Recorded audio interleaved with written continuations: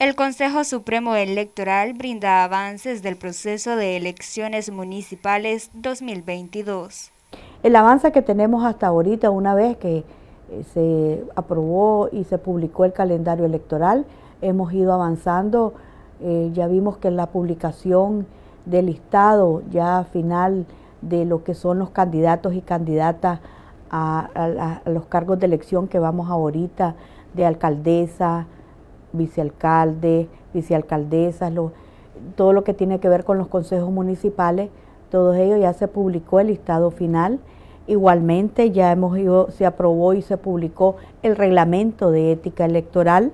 Los partidos políticos presentaron sus propuestas en lo que son las ternas de los consejos electorales departamentales y, regionales, lo que a su vez ya nosotros como Consejo Electoral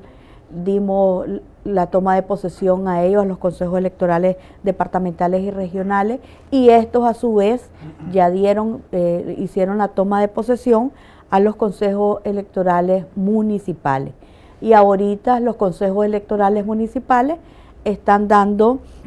ya la, conformación de todos los miembros de las juntas receptoras de votos, de todas las ternas de los que van a ser los que van a conformar las juntas receptoras de votos, que este próximo fin, el fin de semana último de octubre, ya es la toma de posesión para los miembros de las juntas receptoras de votos. Igualmente se confirmó el orden de ubicación de los partidos políticos y alianzas de los partidos políticos en la boleta electoral. Se aprobó siempre con esa participación activa de los partidos políticos y alianzas de los partidos políticos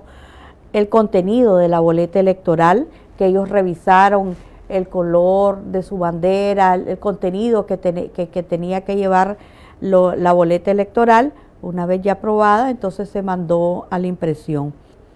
Ya la inscripción de los fiscales y fiscales que participarán en todo el proceso, que se capacitó a, a los, a los representantes